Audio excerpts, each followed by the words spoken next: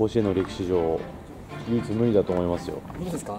ファールで球場を熱狂させたのは2013年夏の甲子園で話題となったあのカットマンは今大谷翔平選手が生まれ育った町岩手県奥州市。全日本クラブ選手権に出場された水沢駒形クラブさんに今回はお邪魔してクラブチームなんですけど、ん。毎日練習してる。あらら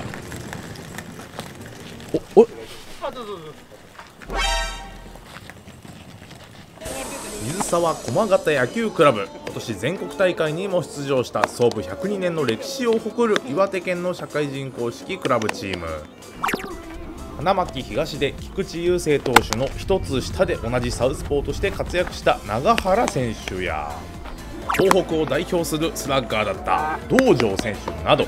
企業野球を辞めた後に野球を続ける選手たちが在籍。その中に千葉翔太選手の姿が。花巻東日大九州三菱自動車でプレーしていた選手。特に2013年夏の甲子園でカット打法で話題になったあの選手です。そもそもなぜ巡り巡ってまたここで野球やってるんですか？もともと地元が奥州市なので、え九州三菱えですよにね行って戻ってきてからはここに入ろうと思ってました軟式とソフトもやってます。どっちも今年全国い行きましてはい。ソフト軟式公式で野球大好きです。本当に。本当に。ほぼ土日ははい。休みなしです。仕事は何してるんで市役所に勤めてて。すかなるほど。体も大きくない中野はい。球界やっぱ今より体もでかいんじゃないですか、まあ大きい選手は大きい選手なりのプレーができますし、はい。ちっちゃい選手はちっちゃいのが持ち味なんでちっちゃい選手だからこそできることをやろうかなといつも思ってます。そんな千葉選手最大の武器がこちら。はあ。あっさり打つな。ファールだ。ファールだ。これは異様ですね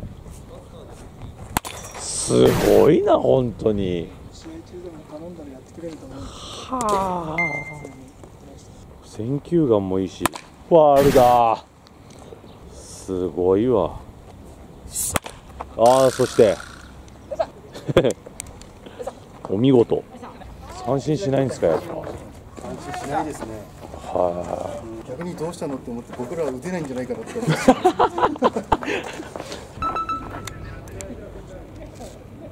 得意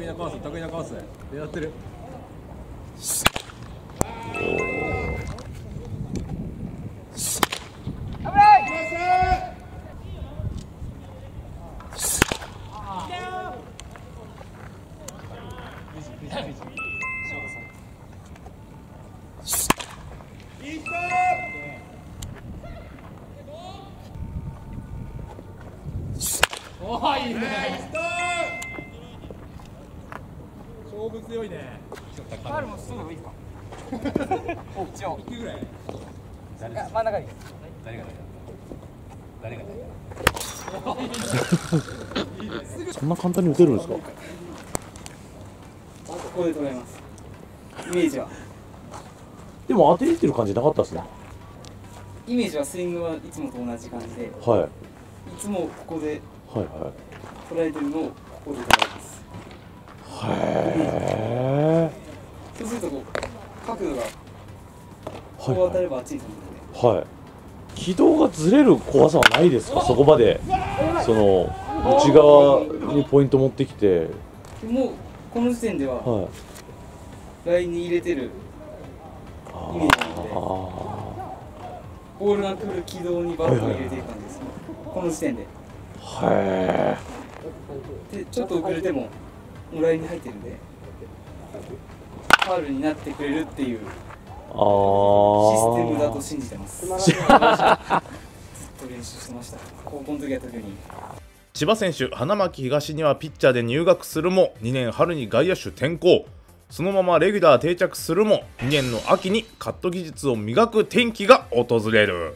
県大会1回戦で負けてしまいまして。はでそこからですねちゃんと考え始めたんです。あへえ一つ上が大谷さんだったのでそうっすよね。もうこう油断があったんだと思います。選手みんな勝てるだろうという。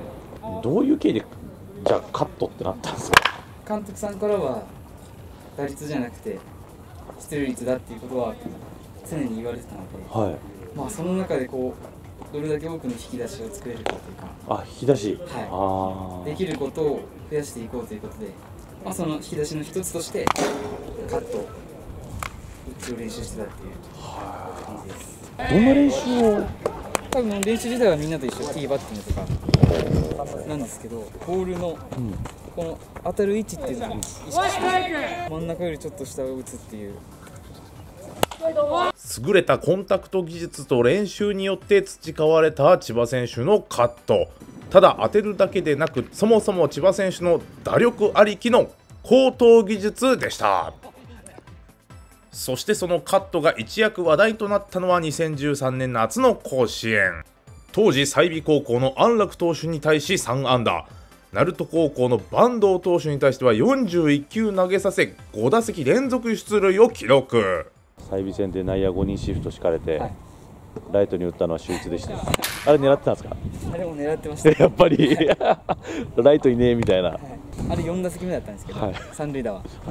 ちょっと監督さんにもはライトに打ってこいってことでいほーあの言われてたので狙い通り行ってよかったです。しかしその後グリップを開けてファールで粘る形が高校野球特別規則でバントと判断されスリーバントでアウトになると注意が入りカット打法自体は禁止ではなかったものの千葉選手はその後の試合で意図的なカットは自重したという出来事がありました。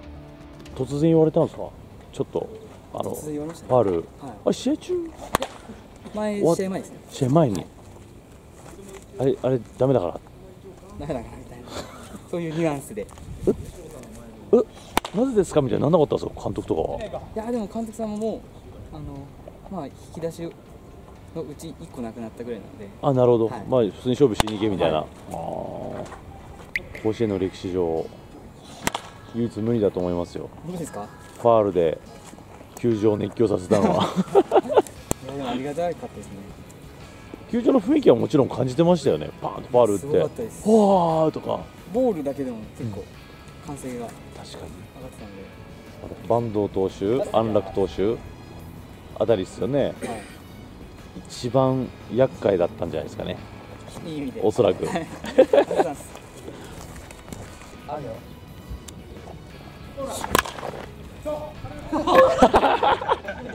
一体ガンだけ？